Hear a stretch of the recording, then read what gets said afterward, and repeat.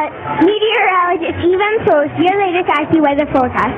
Get ready for some aw- awesome temperatures that are sure to make your make you blowing. Today is the perfect day for snowing on the eve. But tonight the temperatures are set to drop 5 degrees. Tomorrow, a cool storm is on the way, so get your dogs ready. And don't forget the latest forecast is always on 6abc.com.